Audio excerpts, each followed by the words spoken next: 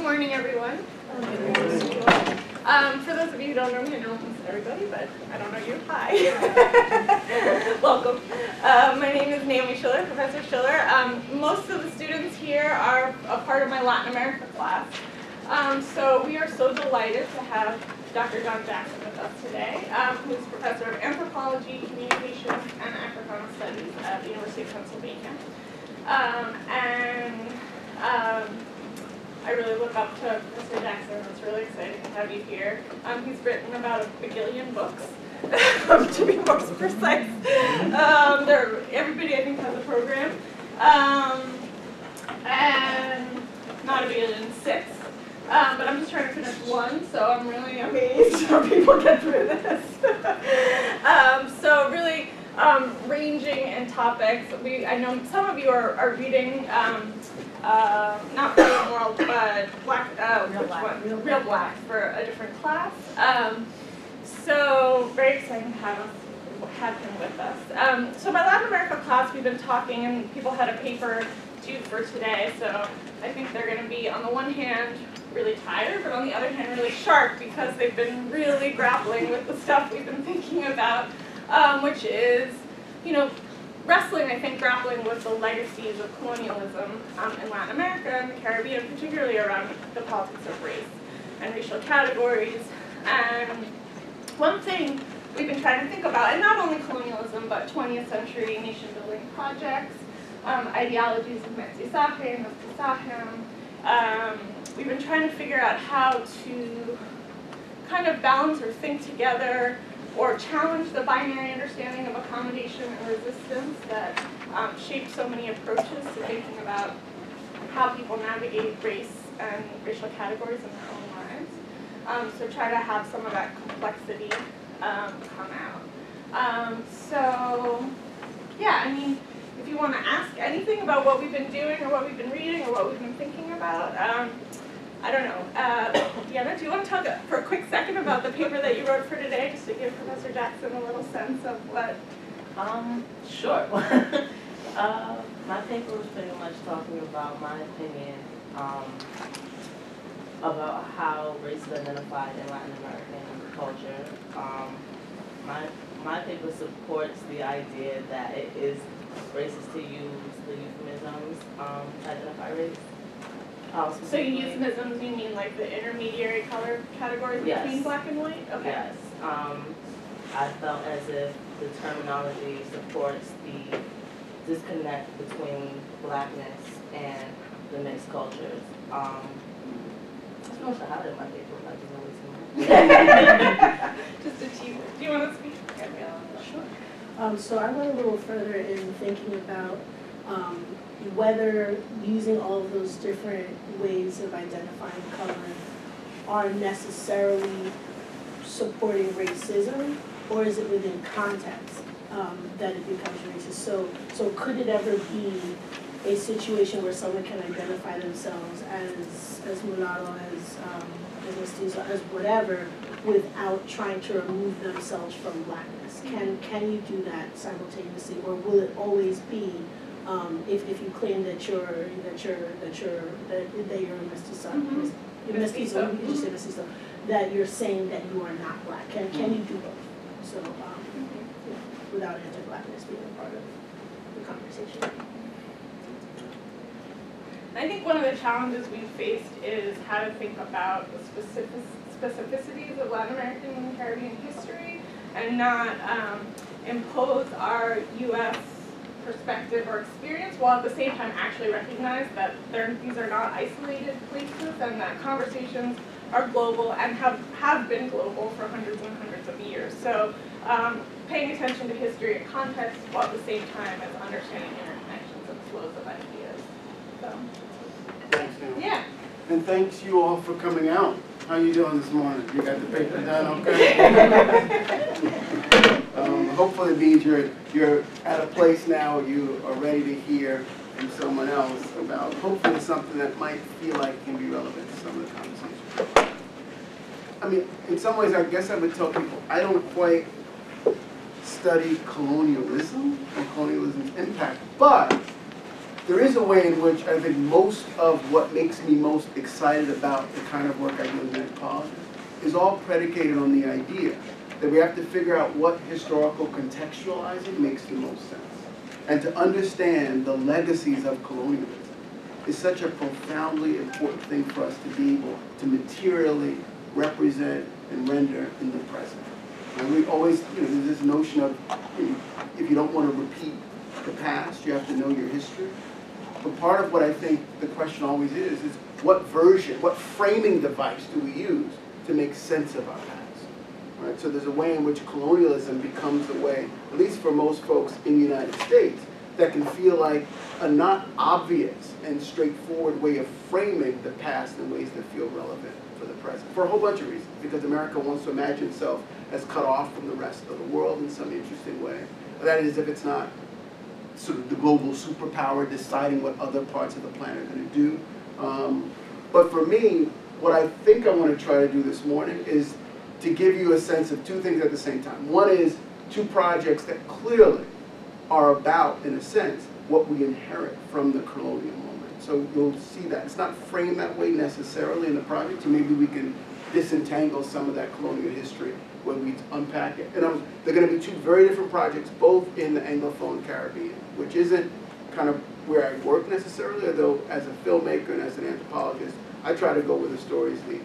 And even if you're thinking about someone who started his job as an urban anthropologist working in Brooklyn and Harlem, New York, you can't tell the story of either of those places without placing them quite decidedly in transnational global context.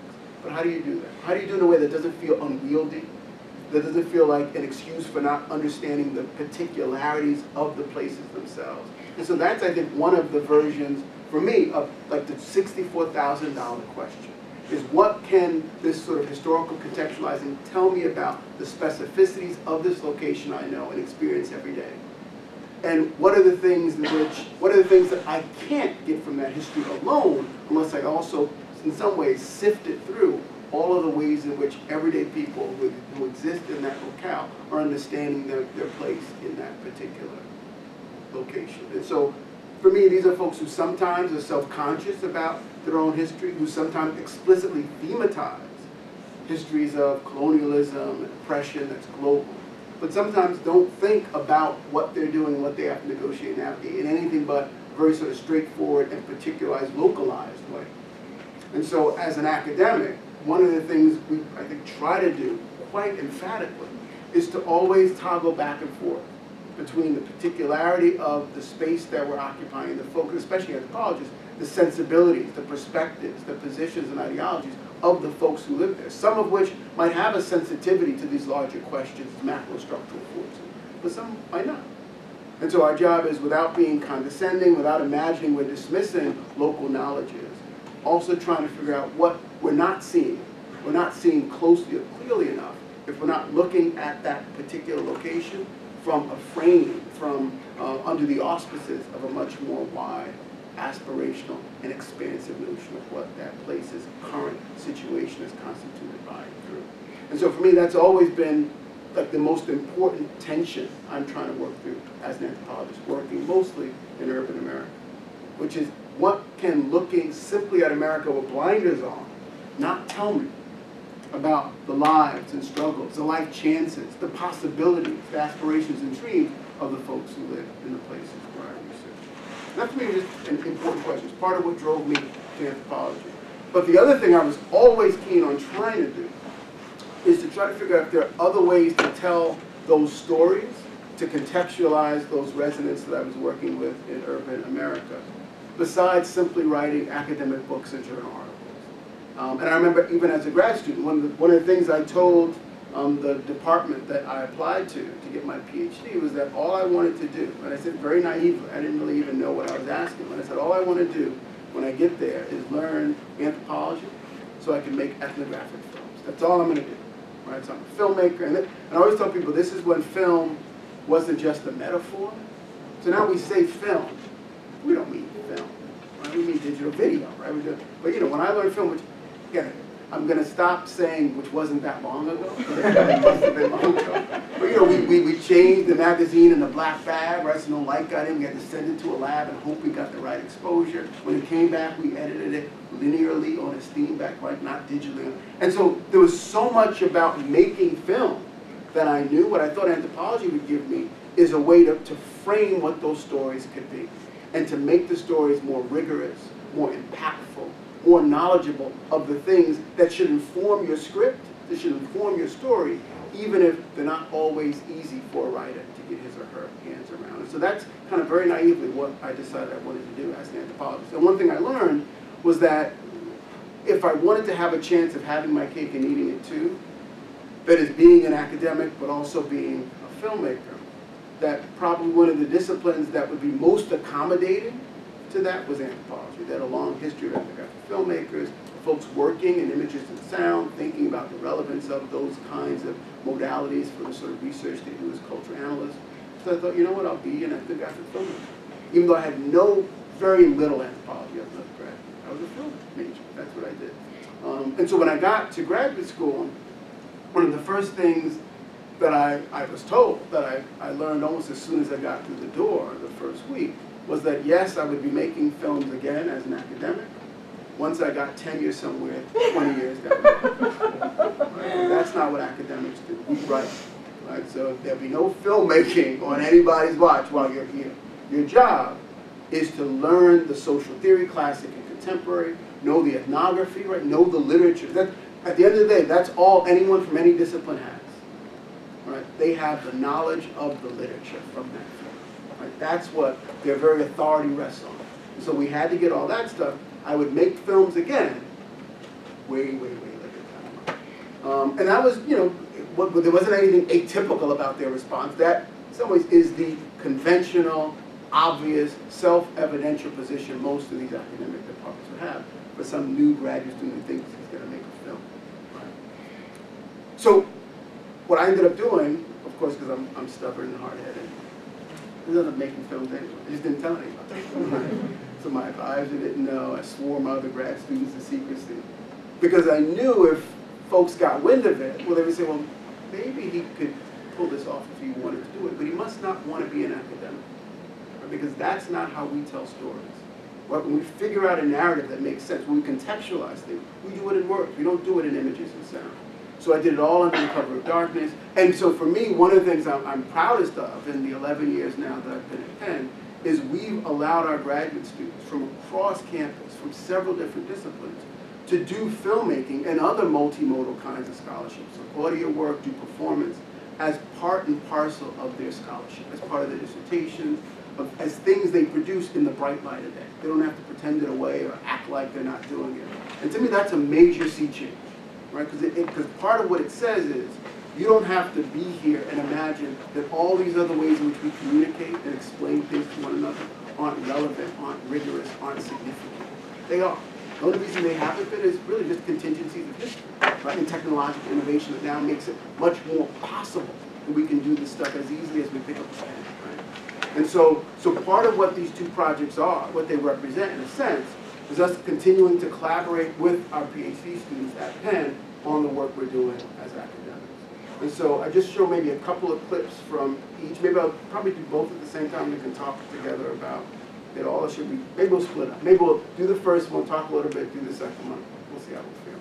Um, I'll probably only show maybe about, we'll see, we'll see how long, I'll look at your faces and see how long you take. But, you know, I'm probably thinking more like five minutes or so from each. And probably just starting both of them, just so you get a sense of how both of these projects try to frame historically what the story is. More in the first one than the second one, but you should hopefully see a little bit of both. And again, I would posit that both of these stories, even though we don't make it explicit in the narrative we use to organize the films, they are both about the legacies of colonialism in, in Jamaica. So one vis-a-vis Rastafari, now this iconic rendition of what Jamaicanness means in the global world. It wasn't always the case that that was so, for a whole bunch of reasons tied to the legacies of colonial rule.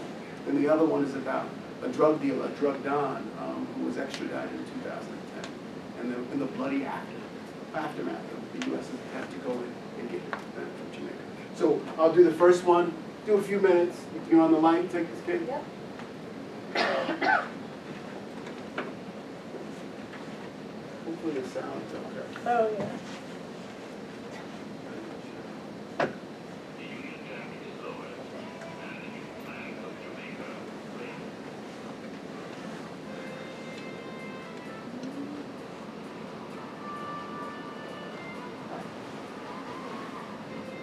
We might need to pause for a second to figure this out. You need the light?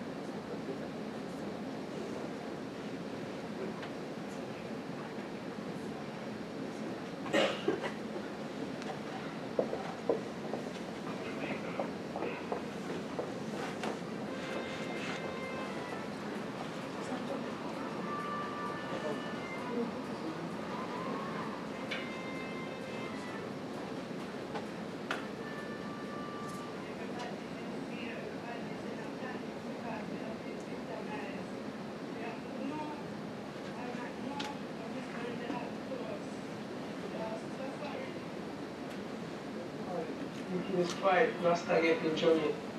There we go. Right. Third time's the charm.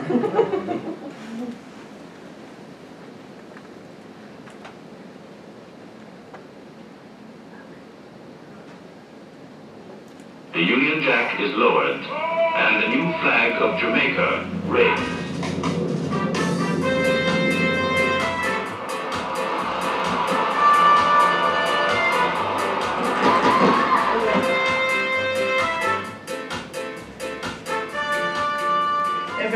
In fear, everybody is in a panic because we have been victimized.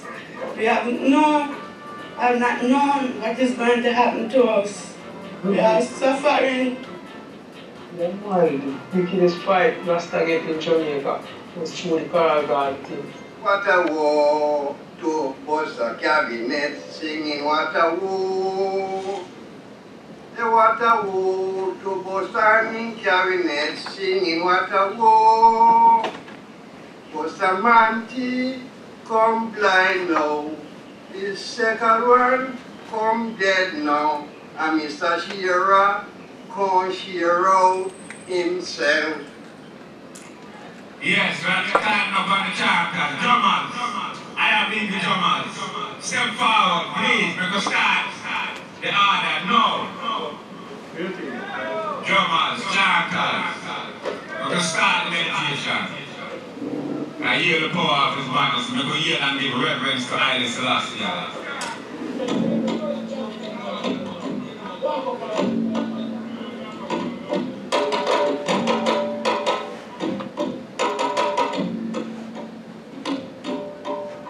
I was beaten, sent to prison without a cause. Well, we tell God no. It is a very long story.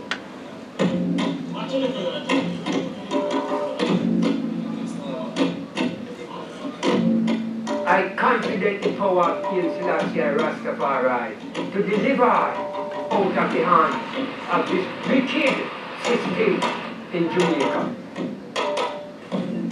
We apologize him for what had taken place on Terrassa 1963. But apology can be empty and just word used. Where is, where is the recompense?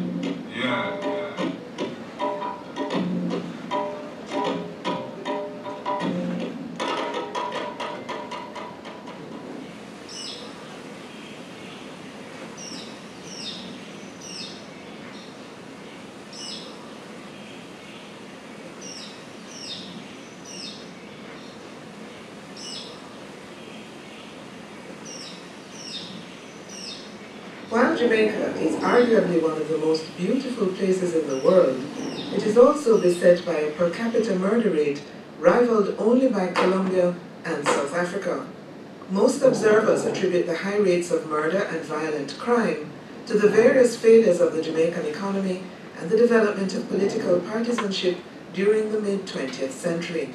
As the People's National Party and the Jamaica Labour Party built their constituencies, political gangs developed to intimidate voters and cement political garrisons. Leaders of these gangs maintained close links with politicians, creating a situation that would later become known as political tribalism. I saw men from Tivoli go to the police vehicle uh, before the Tivoli court and show a bombing style. The vehicle exploded and caught fire. To fully understand the story of political violence in Jamaica, we also have to understand how Jamaica's most iconic community, Rastafarians, were demonized and persecuted by the Jamaican government in the early years.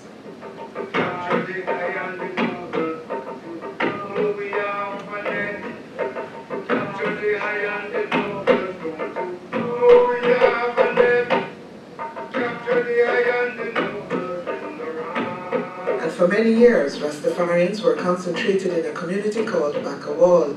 This community was adjacent to Coronation Market, the largest market in Kingston. In 1966, Back-O-Wall was razed by then Minister of Development and Welfare Edward Seaga, who sent bulldozers to destroy the ramshackle dwellings that had been erected, ultimately replacing all the residents with supporters of the ruling Labour Party. Rastafarians were dispersed to other areas of the country where many had already taken up residence in rural outposts and hilltops. Some in Jamaica consider this dispersal to be the single most formative moment in the movement, but it was preceded by a string of persecutions. Principal among these persecutions was the Coral Gardens incident, also known as Bad Friday. So at this point, then for the bulk of the film, what we have is a series of testimonials, basically. You can put the next slide on. Um, from, were you getting into it a little bit? I just want to know what it and, was. And what, what's interesting about Bad Friday too is even in Jamaica, even in the Rastafarian community, there isn't much knowledge of what happened in 1963 to the Rasta. I mean, there is some general sense that, you know, once the British left and Jamaica was going to become independent, that the Jamaican state had a real investment in what representations of Jamaicanness looked like across the world, but it had to look like a modern subject. Rastafari didn't represent that. They were backward, they were primitive. They wasn't they weren't what Jamaica should be in the larger global community. So for that reason alone, the Jamaican state didn't like them. But then what ended up happening, so I'll tell you what Bad Friday was. What ended up happening was, and this is online by the way. So you can go online and see it too. The whole thing online.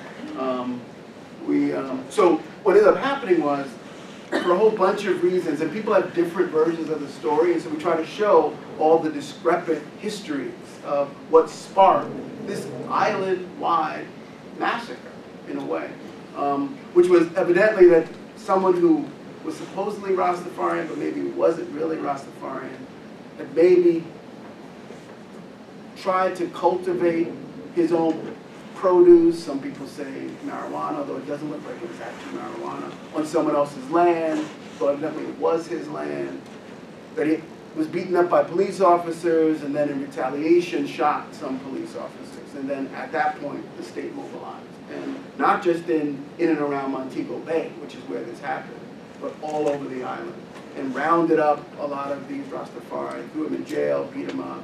Um, you know, there is this history of you know, a lot of states, including the Jamaican state, being incredibly violent in its attempt to defend itself against what it imagines to be a serious threat. So if you jump back to 1963, because this isn't now when we think, you know, we think of Rastafari, we think of, you know, weed, and we think of Bob Marley, at least from here. In 1963, these were Rastafari saying, one, you know, the real leader of the black community should be Haile Selassie, right? They were saying that in a political way, not metaphorically. I mean, again, Jamaica just become its own state. They felt like they were in a precarious position to begin with, right? The other thing that they're doing is they're rallying behind Fidel Castro and saying, well, if not Haile Selassie, if he's too far away, well, Castro should come in and take over Jamaica. And so the Jamaican state is like, wait a second, you guys are talking crazy, right? And so for a whole bunch of reasons, they didn't take this as idle threat talk. They thought of this as a true enemy of the state position that had to be contained.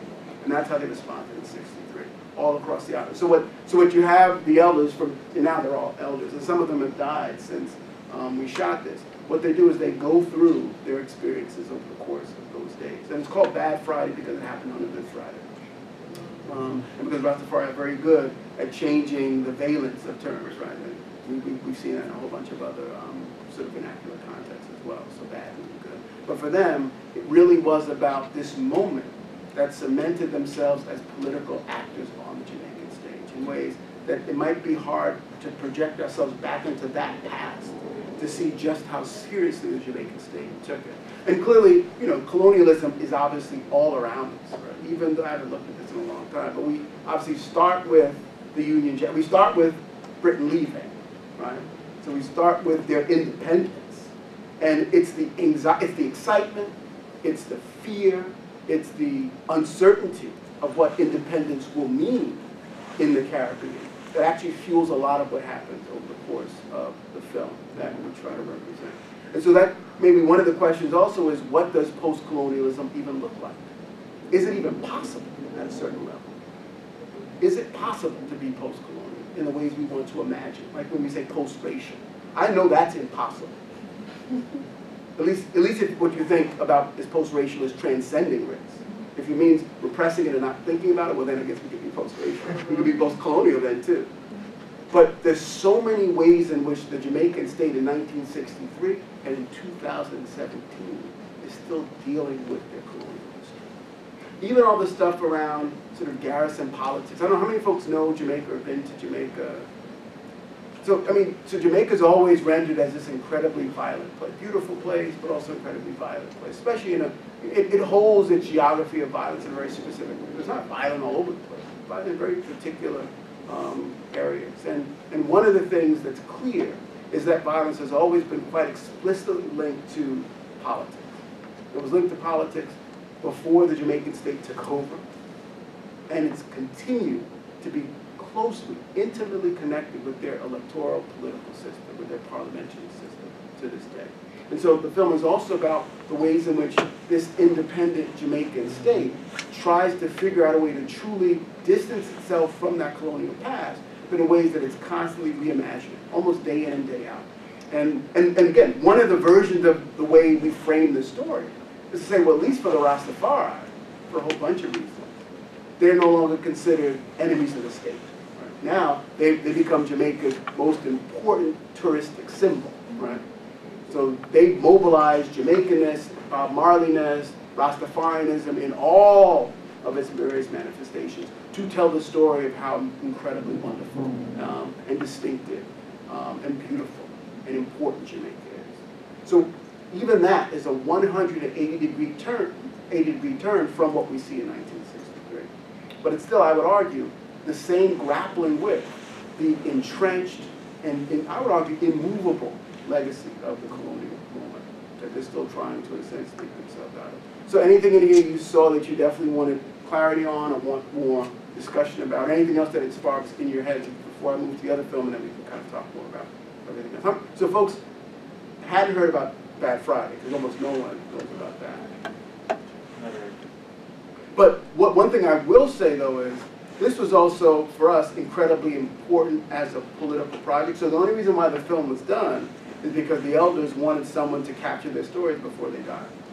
Because no one had sort of done that work to get them on the record talking about what they do. And one thing you see um, maybe about five minutes of in this film is their annual, the Rastafarian community's annual commemoration of that Friday. So they do these annual performances in Montego Bay once a year around Good Friday, where many elders as they can bring together, sometimes five, sometimes eight, will tell their stories to a group of Rastafari assembled there. And, and that for them is just a way to mark time, to, to force the state, to force the government to respond to their claims. So they still, they've been arguing to this day for reparation vis-a-vis the Jamaican state. Right? It's not reparations for slavery, reparations for what happened to them in 1963. Now what happens, and this also comes up in the film, is their specific call for reparations vis-a-vis the Jamaican state gets connected to a much longer, larger discussion being actively sought out and um, elaborated upon in Jamaican government around reparations for slavery. So those things have come together in the contemporary moment in Jamaica. Um, and, and so one of the things we're proudest of is the public prosecutor in Jamaica a couple years ago reopened the case, partly as a function of the fact that this was broadcasting on television in Jamaica, and also because of the fact that they've got all of the footage we collected from the elders and put that stuff into evidence. And so they're still working on the reparations case, but the material we produced as scholars and academics, with the help of our grad students and others, has seemingly been incredibly important in moving the project forward and getting some more of the Rastafarians' complaints in front of people who can hopefully give them some restitution. So we've been excited about that. Um, you said that this, this video was able to be made because the elders wanted their story. So did they reach out to you? Did you just like kind of end up in Jamaica and then just kind of hear about this and want to do more work? Like how did this, how did you guys come together? So I, I did this work with two other filmmakers. One is another anthropologist who works in Jamaica and had done a project before on blackness in Jamaica. The other one is a younger Rastafari from a different part of Jamaica, but who's incredibly invested in thinking, I mean, Rastafari tend to be, I think, in a lot of ways, incredibly critical um, consumers of public discourse, of religious conversation, all that kind of thing. So he was really interested, once he heard about the story, of going out and finding out more. And so the idea at first was a book project specifically on Bad Friday. Um, and so for that book project, Deb, who's also my wife and works in Jamaica, and Junior, who's a drummer in Rastafari, would go, went all around the countryside finding these elders. And invariably, anytime they spoke to one of these elders, they said, well, you know what, I'll do the interview, that's fine. But you know what, I'm not getting any younger, you know, the Bob up the road isn't getting any younger. We need someone to actually document this so we have this on tape, so we have this on tape. So they said to them, do this. Now, neither one of those folks make movies. So they came back to me and said, we have to make a movie. And so that's how I got roped into it. Um, but it really was literally, it wouldn't have happened unless they said, we need our stories captured so that folks can see us tell them. Um, and I think it's been a kind of nice byproduct of that. That it's been, you know, the film itself has been screened all over Jamaica, which is great. But also that all the raw footage is now being used to help put a case together for reparations for the folks who explore that. When you were making and producing this film, like what was the kind of like the message that you were trying to convey to your audience? That's a really good question. Um, I used, I don't have it anymore. I used to have an early draft, so I edited the film, uh, for better or worse. I'm not a good editor, but I'm cheap. and there was an early version of what this film was going to look like that was going to really focus on or use as our major narrator and organizing principal, Junior, the, the Rasta I told you about, who's younger, um, who was the, the original drummer and has been the only main, one of the two main drummers on The Lion King since it started. Um, and so we were starting in the booth. We shot him in his booth at The Lion King doing his work. We was going to use him to kind of frame the narrative. And I like that for a whole bunch of reasons. I mean, he's just, he's someone who's a compelling character. I think you can get into him. There's a version of what that story would be that would be more intelligible, I, I know it would be, to an American audience.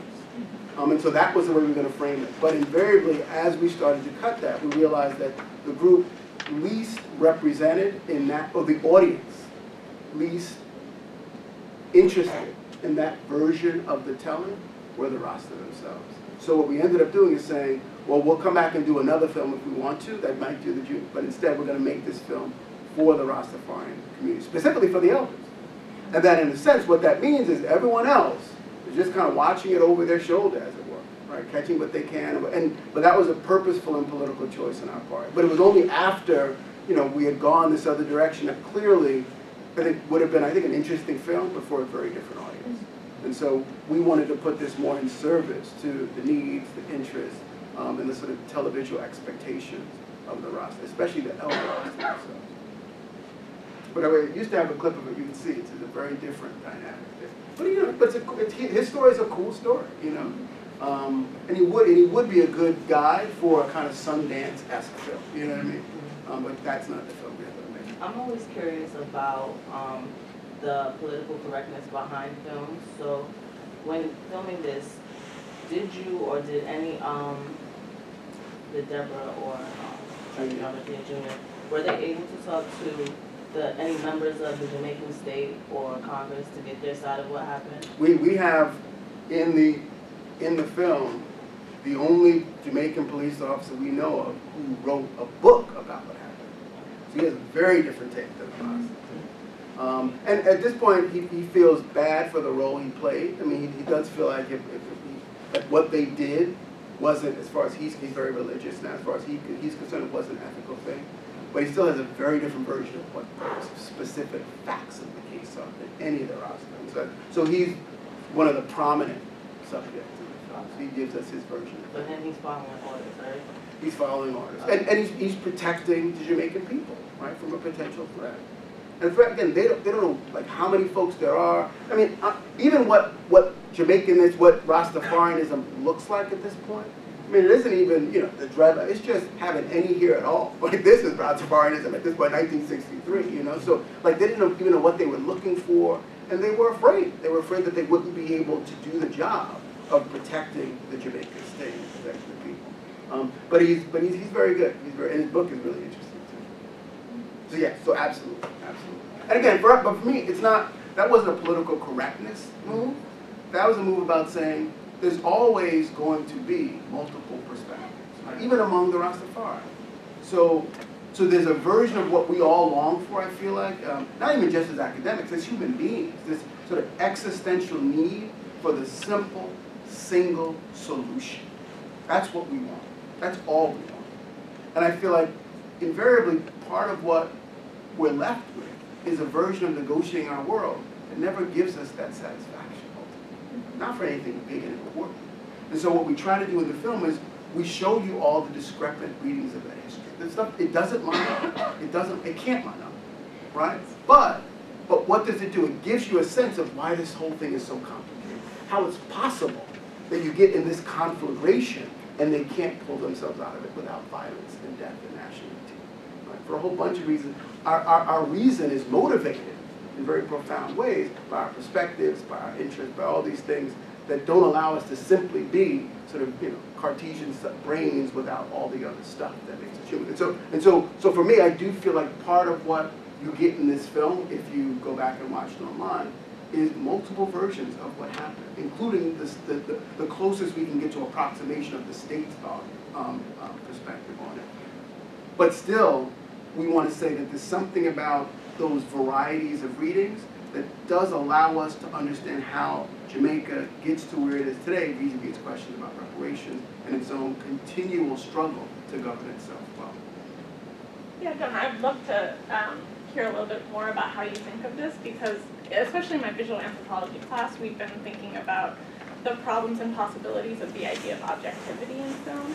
Um, and I feel like the ground beneath us has shifted with the introduction of the idea of the alternative fact in our discourse. So I'm curious, um, you know, we've, we've talked about like the idea of trying to establish an approximate truth. Perhaps there isn't just one thing, like you were saying, that, that, but in the case of Bad Friday, how do you reckon with, you know, people saying, well, there are many perspectives on something that happened. We can't really say what happened. Um, how do we balance that acknowledgement of complexity of experiences with um, the need to actually establish facts? I know this is a really big question, but I'm curious how you weigh in on it. And, and, and I do want to say there are such things as facts. So, so some of what you're going to hear. Thank you. and so some of even what you hear in the film being said um, sincerely and emphatically by folks, you know, very different takes on what happened. Just based on what we were able to corroborate with archival research, we know to be wrong. And so, you know, so, so I think part of what we want to be able to do is maybe, and maybe this is too ambitious a goal, but it's to say we can have complexity in terms of how people are thinking about the world. We can even have some things that are unresolved, but it doesn't mean there aren't like hard and, and fast and solid facts upon which these claims are made. And so I think trying to make a distinction between how we mobilize facts around stuff that is ambiguous enough that we don't know versus things that people disagree on, but they're disagreeing not because we don't actually have evidence to corroborate what's actually happened and what didn't. And so, I, so for at least this film, I think we do a pretty good job at when you're done, you have a sense of what happened.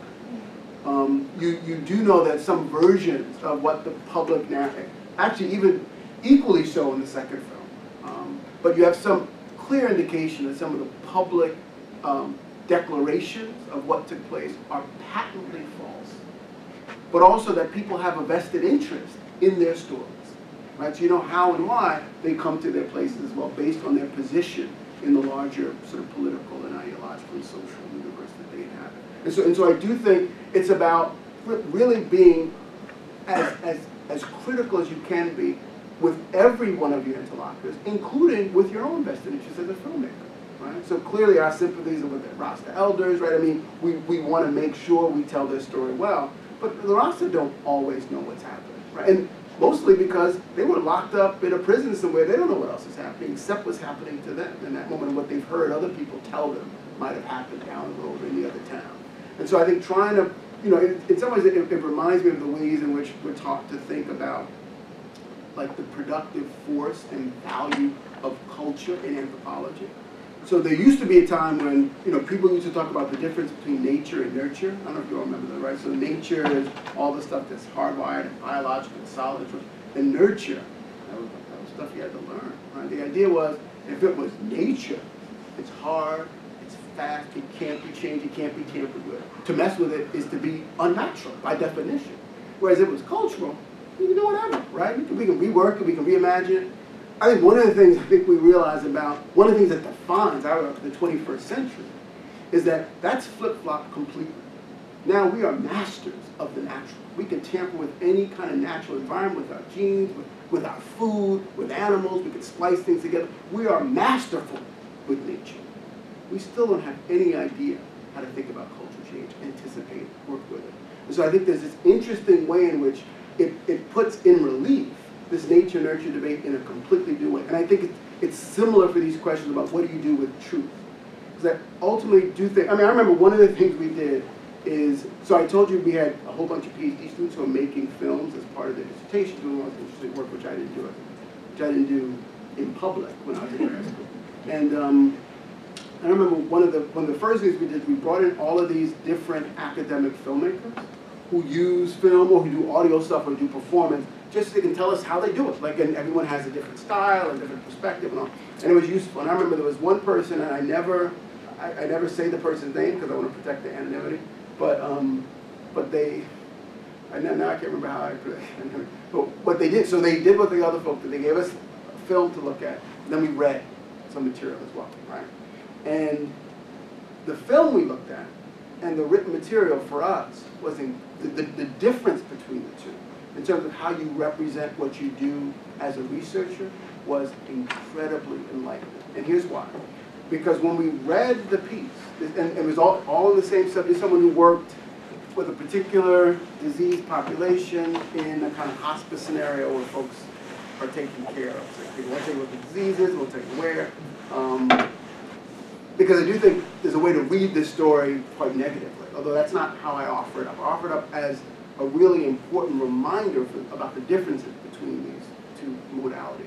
So in the written piece, it's great. We have an incredibly sophisticated theoretical framing for what the person is doing. And then we have all these interesting ethnographic details about the sick patients themselves and about how they grapple with death, right? Death is coming, that's it. All they're trying to figure out is how do they come to terms with it? How does it make them think about the disease that's ravaging their bodies, right? All, in, in powerful, incredible.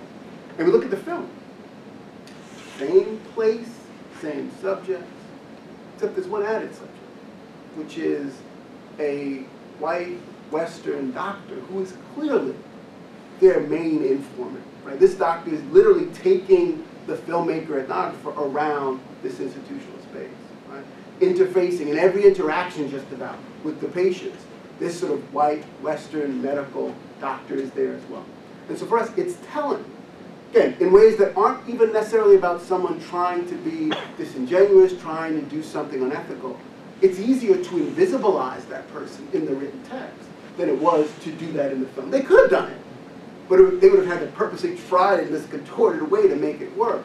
And so for us, it's a reminder of the fact that part of what you're, you're able to do in these different modalities is play with the aspects of the sort of the range of factual possibilities differently. And that's one of the things I think we're constantly grappling with as, as media makers, as folks trying to be critical consumers of this kind of proliferating mass media, is what are the facts I'm getting and what am I not getting? And often it's what you're not getting that tells you the most. You just don't know you didn't get it. Right? Which is why you're going out. So, so for us to see that doctor there, so prominent, clearly central to this person's project, the project would be impossible. It was good. If you see the film, you realize, wow, like it all is sort of organized around this doctor. And see that they're not in the written version of this for an academic journal. For us, was just a reminder of how important the sort of the politics of omission when we think about this question of what's fact and what's not. And so we just try to make sure we don't omit anything that is part of the sort of public conversation about this debate of what happened. Some of which clearly not true, but it's true clearly for the folks who believe it and inform decisions they make about how they interface with other people as well. But, but none of that, I would argue, means then you know we can be throw up our hands and say everything's equally valid, everything's equally true, or, or fake news as good as any news. But I think it's about being much more disciplined in the way we consume this stuff and much more self-critical about what we produce for other people to consume as well. Whether we're writing, whether we're making films, whether we're performing, all that kind of stuff. Um, I was just curious, um, are, do you know if other Rastafarian groups in like nearby islands were also affected during that um, historic period, like in St. Kitts or? That, that's a great question. Not that I know of. Not that I know of. So I think it was mostly isolated to Jamaica. Mostly even Western Jamaica, although it did go all across the island. Although one thing I will tell you is, three years ago, four years ago we took the film to South Africa with some of the Rastafarians. Um, some, you know, these are 70-year-olds. One might have been 80. They've never left Jamaica. For them, Africa is this important symbolic home. So, I mean, it was just powerful to see them in Africa for the first time and, to, and to, to, feel like they were back home in a way that was, we were all struck by how moved we were, we were by it. But we had undergrads with us, we had grad students, and our job, what we wanted to do was go around South Africa and screen the film for Rastafarians in South Africa. And we were blown away by how much they argued that what we represented in 1963 resonated with them vis-a-vis -vis the South African state and the persecution they, they had to withstand over the last 30 years or so in South Africa. So, so, so again, I don't think what happened in Jamaica actually happened in any other island in 63. Right? So it was contained to Jamaica for reasons that I think once the sort of narrative unfolds, you see how and why this was a Jamaica issue, a Jamaica problem. But, um, but it is a version of talking about the marginalization the Rastafarians feel, the denigration they can sometimes um, experience vis-a-vis hegemonic powers in different locales, that we went to South Africa, and it was, I mean, it was like they'd seen this all before. I mean, and they, and it resonated with them in these ways that incredibly, I thought, moving and, and powerful. All right.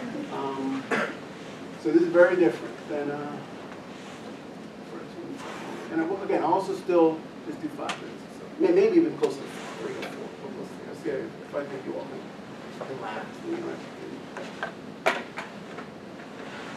Don't want you.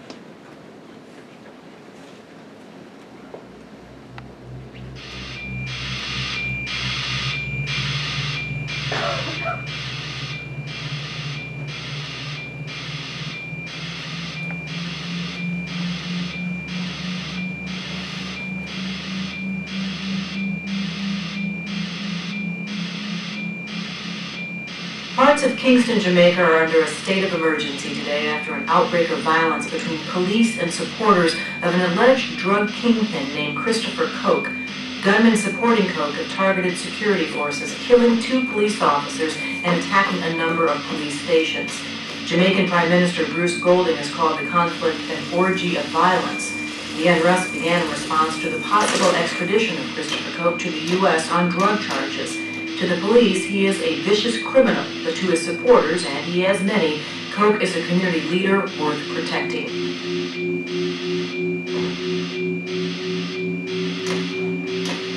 In Jamaica, at least 30 people have been killed as authorities carry out a manhunt for an alleged drug kingpin.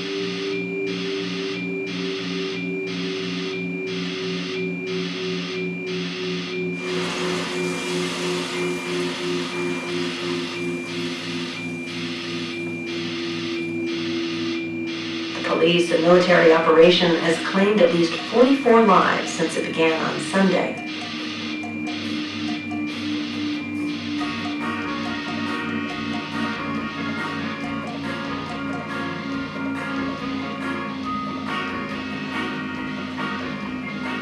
The death toll officially stands at 71, but local human rights activists say the number may be even higher.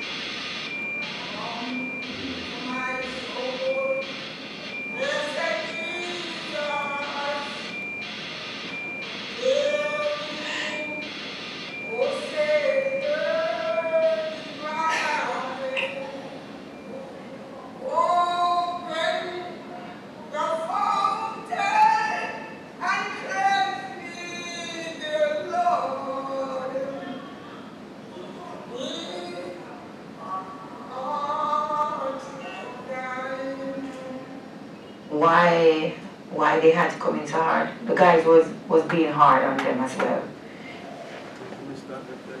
Stop it people, because I mean, once you get wrapped in that, you- I can't stop it. It is really powerful. Um, And so, again, once we, again, here we have victims of violence, um, but victims in a slightly different sense than the first film. So these are the people who lost family members when the Jamaican state went in to get um, coke. The official number of dead is, it's not even official, semi-official, is around 70-something, but by most accounts from the folks in the community, it's close to 200. And there's still not an official counting of the dead in Jamaica to this day, and that was seven years ago. Um, It started out with footage um, that a New Yorker journalist, a New Yorker magazine journalist, got under the Freedom of Information Act, which is just the U.S. drone that was over Jamaica, assisting Jamaican state as they were trying to go in and find them. So that's what you're seeing and hearing at the start of the film. Um, it also is, I think, an incredibly powerful example of the kinds of ways in which, at least in Jamaica, when folks talk about the violence, it's not all over the island, right? This is this small community, really small, I think it's like 7,000 people, so, um, Tivoli Gardens. Same community where in the film before, we had footage of um, uh, the security forces shooting rifles, and, uh, you remember that in the first film? That was also in the same place, right? Also in the same community, different incident. Um, and it's a place that is incredibly militarized. And so, just so happened in that previous instance, Jamaican State went in and they got trapped, right? They got out, outgunned and outmanned because there was so much weaponry already on the streets in Tivoli Gardens. And so this really is a film about having these people explain to us what they experienced. And, and, the, and the people who died, of course, were all young men. Right? So what they went in, so the way the folks in the film described it, say the state went in and used the extradition of Dudus Coke as a way to take out a sort of state-sponsored vendetta on sort of poor uh, black men in this particular part of Jamaican society. And so ultimately, what you see here is a version of these people trying to make sense of what happened trying to represent the importance, the value um, of the loved ones that they lost. But again, doing it in ways that don't always line up with what we think we know about the official record, but um, that clearly give us a sense of how complicated it is to live in the wake of death. And a death and a violence, I would argue, and, and I think, I don't even think, like, it's, this is more an experimental film, so even after it's done, I think you'll have less of a sense maybe of what's going on than in the first film, and that was by design. I didn't edit this one up, but it's very well edited. Um, but ultimately, what this also is about, I think, is not fetishizing Jamaicans as somehow prone to violence, or violence as being predicated on Jamaican independence, right, as though colonialism was this sort of violent, free, you know, never, never land. What we're seeing here, and the argument in the written versions of, and even in the filmic version of this representation of these four days in May, is that the violence on the ground in 2010 or 2017 is a direct offshoot of the violence of colonialism. Some of it's literally the same kind of violence. Some of it's new technologies, we have to be different. But it isn't that there's something about Jamaicanness, Jamaican independence, that makes them more prone. I think the question is, how do we see the seeds of colonial violence in these new manifestations, these emergent instantiations of violence vis-a-vis some of its Jamaican citizens? And so I think this film does a nice job in the written piece also of saying this is about a long history of violence in this place. History that implicates the British, right? That implicates colonialism quite explicitly. Um, in ways that, again, if you're not careful, you don't see the Union Jack, right? You don't see, you know, there's still some Brits in Jamaica, but not very many. Right? You don't see expats holding guns. But there's a version, whether we're thinking about the economic structure, we're thinking about all the ways in which Haiti's even a better example of almost a kind of global conspiracy around sort of making sure a particular sort of independent state in the Caribbean doesn't have the possibility of succeeding. Right? Doesn't have a chance to succeed. Not because the folks there aren't smart, not because they're not trying hard, but because there's literally a global conspiracy against it. Uh, and so part of what I think the film tries to do is just to give us a sense of how people who are still in the midst of sorrow and grieving tell the story about the folks they care about in ways that always have these, I think, powerful political undertones to it. And but this is, we have to be very careful about this, right? So this isn't about Dudus to even go in this community. Basically had to have the blessing of Dudus Coke, even though he's in a prison um, in the U.S. And so this isn't about him trying, this is really about the experiences of the folks who lost people during that event and having them find some space, some avenue to represent the dead are no longer here and to talk about their value for them on a sort of personal level. So, so that's what Four Days in May is about. It's almost done. It's not quite done, it'll be done. And it'll premiere in Jamaica, um, uh, I think this May. I think that's when. For the first time. So we have about ten minutes Oh, wow. left of the session to talk about. Yeah. So what else do you think? We can talk about anything, we can talk about Four Days in May, more general questions, comments. I just have a, a question about the sound that kept repeating in the beginning of this film. Is that like a heart monitor or? No, no, it's, it's linked to the drone. That's the And, drone. yeah, that, that's the drone. So that, that's, that's not anything we've added to, um, the soundtrack. Now, what it is, I don't know, but, um, we haven't really looked. I, I think we, we were gonna try to figure it out, but it's some version of how, um, the technology sounds, at least in the rendition that we access to. But it's- it did seem like kind of a haunting sound, way, you know what I mean? Like, wow. The heartbeat is really, it, right? Now that you say that, I guess. I thought it was like, you were trying to like add into the fact that, uh, people were hospitalized, but That's good. your death, That's maybe it was powerful. purpose, maybe it was purposeful, but I guess. Powerful. That- That's good. I mean, I think it does, it does sound like that in a way, so, but yeah, that's, that's the drum.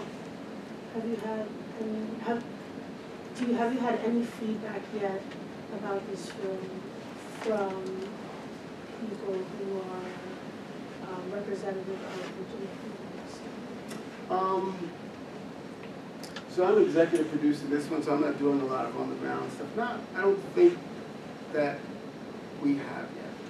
Um, so all the folks in the film we've screened it there in Tivoli Gardens a few times, but I don't think, I think the premiere will probably be the first time. How did, how did they receive it? Um, that's a good que, I mean, I think it's always a complicated thing in a way because in some ways, a document like this and how it represents the people in it, at least as academics, I'm sure you've been taught, we think there's a politics to that. We have to take it very seriously, and that's true. But I've also found, just as an ethnographer who writes about people's lives, that at least for the way I do my work and the kind of the relationships you have to form to do this stuff, people could care less about the film in some ways, right? Um, or about the book you wrote about in some way. You know, they want to see their name and that's cool and that's nice, but it's not that deep to them. Um, I think they think the film, I hope that they think the film does some justice to um, the young men that have been lost. Um, but you know, they're still in the throes of trying to get answers, right? Um, we're hoping, sort of in a, in a way similar to the Rastafarian film, that this might just help to make sure the conversation continues to move forward in a way that can make that possibility more likely, that they can get real substantive answers about it. Um, but but I think as a film, they watch it's great, but you know, it doesn't change. They still got to go to work the next day. You know, and so, so that's why I think the onus is on us as media makers, as cultural producers, as writers and thinkers, to be extra careful as as folks who are thinking about the ethical implications of what we do. Because people let us do almost anything.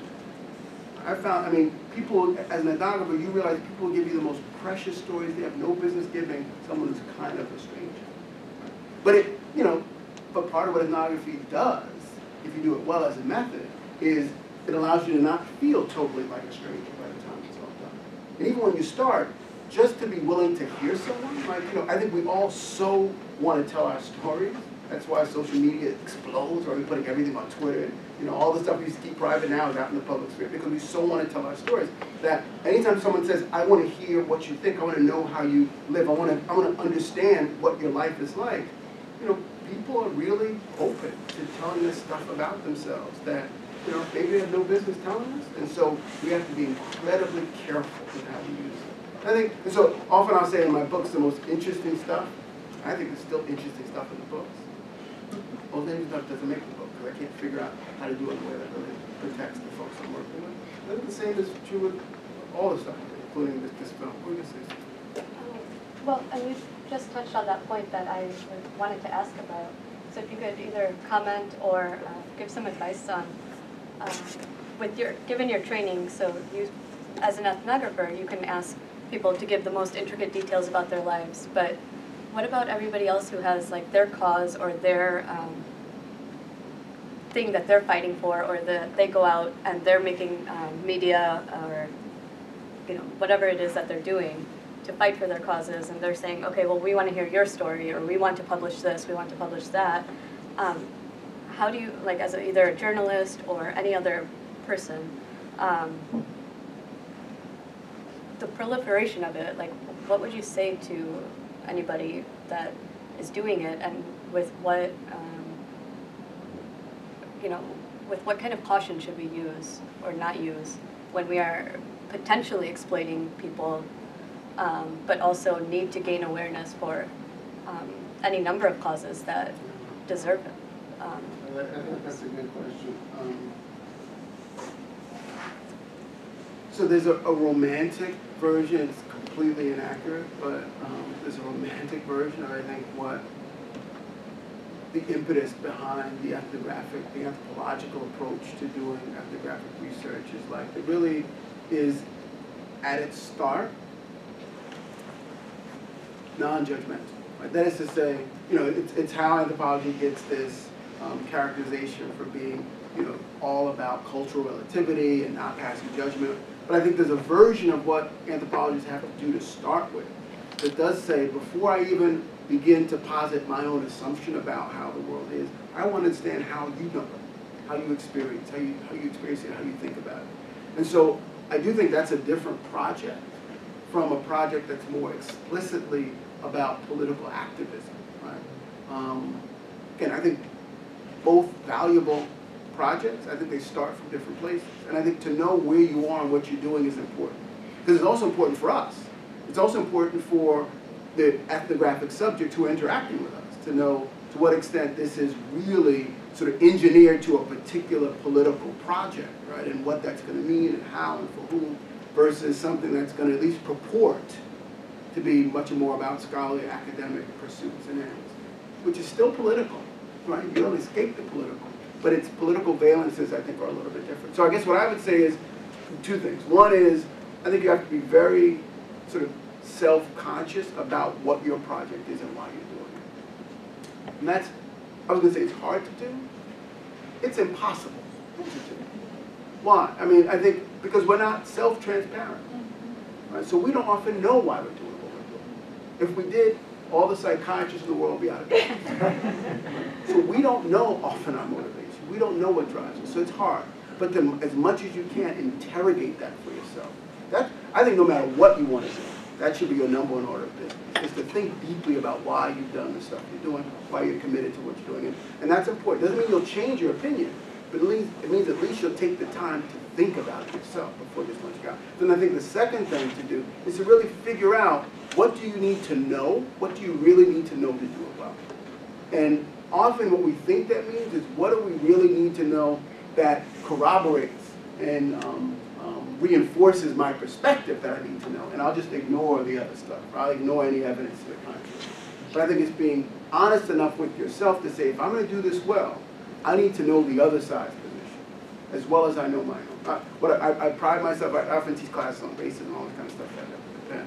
And if, if nothing else, I think I'm very good at being able to tell my students what they would imagine to be the other side's position better than anyone else I could bring in. And, and that, but that's important because I think what it does, besides allowing the folks who might be in the classroom and feel like they don't always share the opinions of everyone else, that there's someone in there who can articulate in a way that isn't just a caricature, right? Isn't just a whipping post to drag down easily, but to make the most coherent and, and persuasive version of that other case that you can make. And if I can do that, if I can do that well enough, students are, at the end we go, we want to make sure we know what you think about this, right? But, but I do that because ultimately none of the answers to this stuff are easy. There, there, there was, um, you all don't know the, the film, you probably don't even know Jeff Goldblum, but he did this film called The Fly. You know Jeff Goldblum, I guess he's still around, he's still doing commercials. Um, and there's this line of advice says, be afraid, be very afraid, right? This kind of classic line for sort of film. And, and I do think anytime someone off, offers up a too simple answer to this stuff, be afraid. Because if it was answered, we are such a smart species. We would have figured it out if it was that simple. Right? The reason why we haven't been able to resolve some of this big ticket stuff is because it's really hard and complicated. So even the idea of a simple response or a simple solution to any of this stuff should already make you afraid. Because we're far too sophisticated to have not figured it out.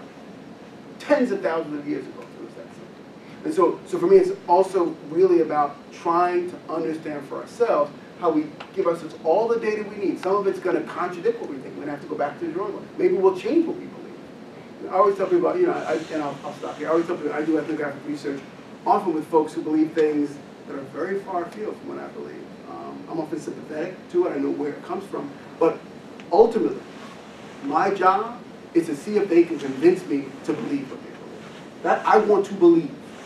I want to believe. And, to, and that drives me as, as an ethnographer. It means I'm really trying to figure out how to how to drink the Kool-Aid. I've yet to be able to do it. Right? I'm still a lowly anthropologist writing it up. You know what I mean? But but my what I want to do is I want to be convinced. I want to be turned out. But I want to say, forget this anthropology stuff, I'm following you on. And, and I think it's being open to the idea that your perspective can change, because it can. Um, it's also really important. And it makes you, I think, less anxious about assimilating information that seems to contradict some of what you take most for granted. So, thank you. Thank you so much.